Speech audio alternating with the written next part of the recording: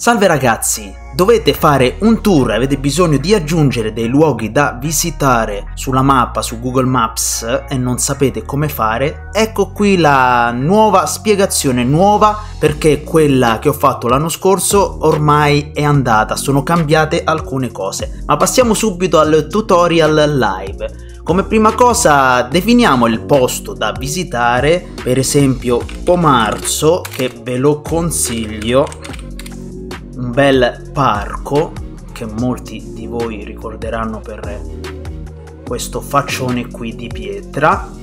Io non faccio altro che aprire Maps, cliccare, come vediamo già c'è Bomarzo sulla mappa perché ce lo, dà, ce lo dà direttamente una volta cercato su Google. Io non faccio altro che cliccare su salvati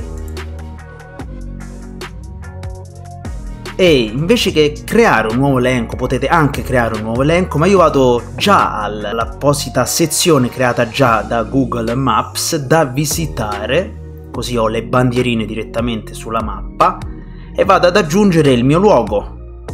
Quindi clicco sui tre puntini modifica elenco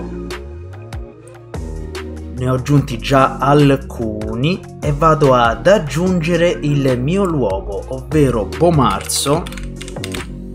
Eccolo qui, Bomarzo, Borgo Antico, località Giardino, mettiamo il Sacro Bosco. Possiamo scrivere una descrizione che è facoltativa e adesso come vedete c'è il luogo che viene salvato automaticamente, non c'è un pulsante salva, salvataggio automatico infatti. Il luogo viene aggiunto sulla mappa, io se faccio lo zoom della mappa comparirà la mia bella bandierina qui a Bomarzo, al Sacro Bosco, insieme a tutte le altre bandierine e luoghi che ho segnato per i vari posti d'Italia, adesso non so, forse a Tropea ne segnai qualcuno, eccoli qui, qui cambia l'icona perché ho creato direttamente un elenco da zero, eccoli qui, gli elenchi classici. Ma Bomarzo l'ho messo nei luoghi da visitare, quindi se apro visitare, eccolo qui il Sacro Bosco e me lo indica subito sulla mappa se voglio cercare da zero i miei luoghi da visitare, o gli elenchi creati, non devo fare altro che recarmi sempre su Maps, apriamo Maps, posso direttamente fare lo zoom sulla mappa e vedere i luoghi oppure vado in alto a sinistra su salvati prima dovevi andare sui tre puntini ma adesso compare direttamente qui comunque se non compare qui sulla sinistra cliccate sulle, sulle tre lineette non sui tre puntini e poi su salvati. Ed ecco tutti gli elenchi tra i quali i luoghi da visitare già preimpostati con la bandierina. E il mio sacro bosco ecco era qui sopra il sacro bosco però dovrebbe comparire la bandierina così come sugli altri luoghi già messi in precedenza. E se questa bandierina non compare fate come ho fatto io cliccate tornate sui salvati aprite i luoghi da visitare cliccate sull'ultimo luogo che avete inserito e provate a cliccare qui su salvati salvato e a impostare la località su viaggio, su destinazioni, oddio come si chiama, piani di viaggio e poi a toglierla. Qui, se, qui questa sezione serve per spostare l'uovo anche nelle, negli altri elenchi. Se io lo tolgo, improvvisamente torna la mia bandierina che prima era sparita. Ecco qui allargando la mappa dei luoghi da visitare, potete, come ho già detto, cambiarlo anche in piani di viaggio, è la stessa cosa. Qui potete anche inviare al telefono o condividere, vedere altri luoghi nelle vicinanze. Io se torno ai miei elenchi posso tornarci anche da qui, salvati, ora si chiama salvati, torno ai miei da visitare vado sul mio logo che ho messo privato, qui posso decidere se nasconderlo sulla mappa, modificare l'elenco o le opzioni di condivisione che come avete visto io messe, le ho messe le mie destinazioni private ma potevo metterle anche pubbliche e visibili a tutti quanti.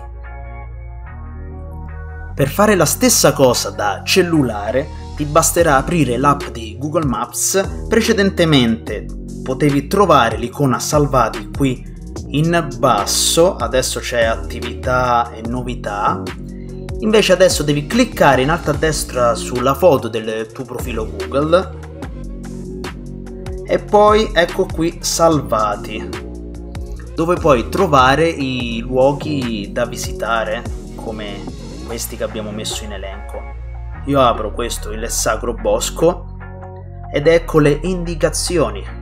Posso cliccare direttamente sulle indicazioni, oppure se voglio visitare gli altri luoghi presenti sull'elenco e ho bisogno di aprire l'elenco, mi basterà cliccare sulla bandierina dove c'è scritto da visitare sotto l'ultimo luogo aggiunto.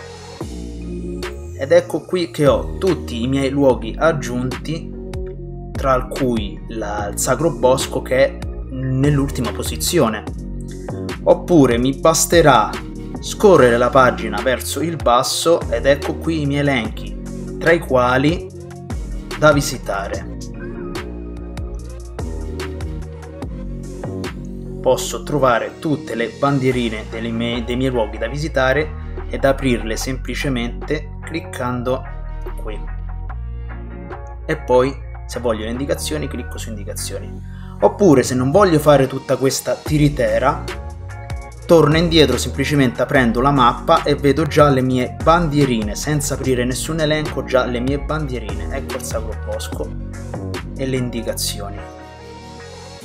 Se io invece da qui voglio aggiungere un luogo non devo fare altro che tornare indietro sempre qui in alto sulla mia foto profilo, salvati, apro il mio elenco cliccando su da visitare oppure qui sotto sopra il mio elenco o clicco sui tre puntini, modifica elenco e posso aggiungere un nuovo logo, luogo da visitare cliccando sul più e digitando per esempio Duomo, Duomo di Milano salvo, posso aggiungere una descrizione ma io vado direttamente su salva, possiamo vedere che il Duomo lo avrà aggiunto sì all'ultima posizione, salvo. E adesso sicuramente posso trovare il Duomo di Milano sulla mappa con la bandierina, vediamo se funziona, se ci ha messo la, se ha messo la nostra bandierina Ops, sono salito un po' troppo in alto, eccoci qui, la nostra bandierina.